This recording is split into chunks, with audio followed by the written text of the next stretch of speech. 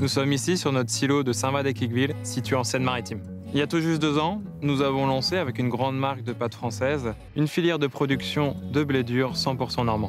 Cette initiative permet à 80 agriculteurs locaux de profiter de nouveaux débouchés en diversifiant leur culture. La production de ce blé dur normand fait l'objet d'un cahier des charges strict, guidé par les pratiques d'une agriculture plus raisonnée. Et nous allons même plus loin, avec un contrôle qualité des grains renforcé.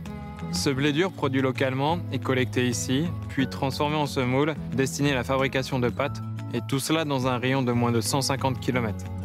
Nous ne sommes pas simplement collecteurs de céréales. Nous accompagnons les agriculteurs et essayons de leur apporter de la valeur ajoutée afin de construire ensemble l'agriculture normande de demain.